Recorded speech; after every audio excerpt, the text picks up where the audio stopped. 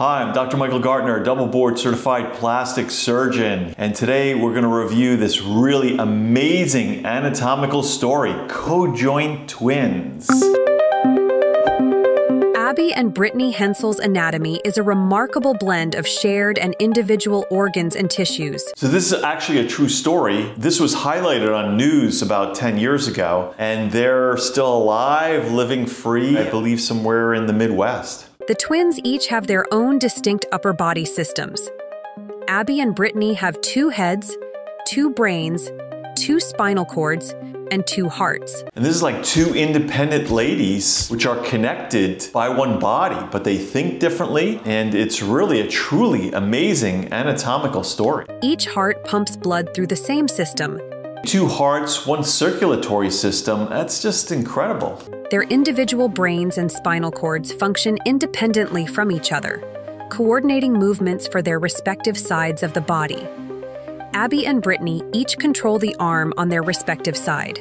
In order to walk, they must have a lot of memory where they could coordinate this and do arm movements, and they do all sorts of normal activities. Everybody does. And this is all a matter of repetition, learning, just like how you learn to walk, but you're doing it with another person. It's amazing. Abby manages the right arm, while Brittany controls the left. This division of control extends to their legs as well, with Abby controlling the right leg and Brittany controlling the left. So apparently they, they can walk, they can run, they can do all kinds of normal activities. Their movements are highly coordinated. For activities requiring both arms, such as holding objects, typing on a keyboard, or steering a car. I wonder if they have two driver's license or they have one. they are able to perform these tasks smoothly thanks to the remarkable synchronization between their two brains and nervous systems. That is just so remarkable, it's incredible. Their skeletal systems include two separate spines that join at the pelvis, maintaining their independent neurological functions. And it's impressive, their spines didn't have any problems like openings, spina bifida, any of that stuff. It's just truly amazing. Each twin also has two lungs, making for a total of four. While their medial lungs are fused to some degree, the outer lungs operate independently. Abby and Brittany have two stomachs, allowing each twin to digest food separately. So I wonder if they get sick, like have a pneumonia, how fast that transfers to the other one. Their sense of hunger or satiety is unique to each twin, as the brains controlling the stomachs are independent. Abby and Brittany each have their own esophagus, which leads to their respective stomachs very crazy that they have that. So it's very interesting to see what the difference would be between them as far as their hunger and other lifestyle issues. This is part of their distinct upper digestive systems. Since they each control one side of their body and have separate stomachs, the food each twin swallows travels down her own esophagus and into her own stomach, ensuring that their digestive systems function independently in the upper body. Although Abby and Brittany each control their own side of the body, they experience stomach pain differently.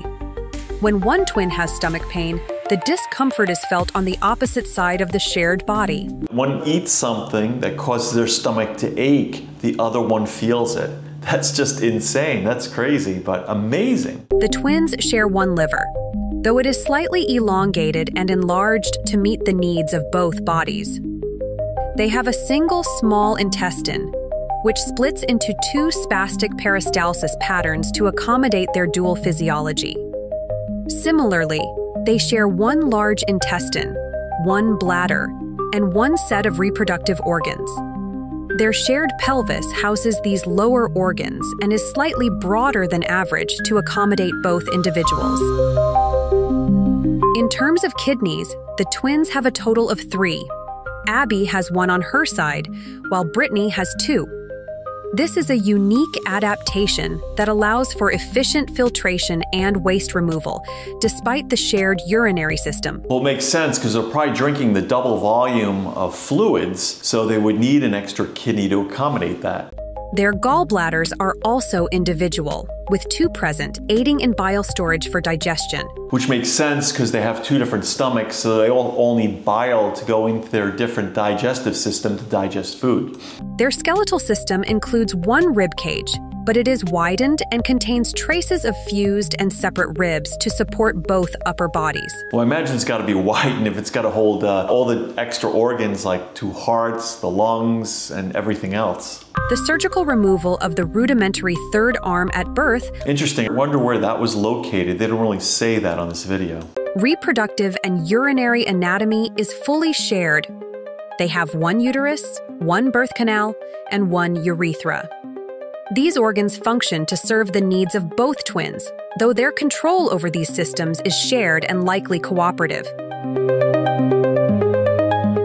Overall, Abby and Brittany's unique anatomy can be summarized as follows two heads, two spines merging at the coccyx, two brains and spinal cords, two hearts, one circulatory system, four lungs, two partially fused, two stomachs, two gallbladders, three kidneys, one liver, one small intestine, one large intestine, one pelvis, one bladder, one set of reproductive organs, two arms, and two legs.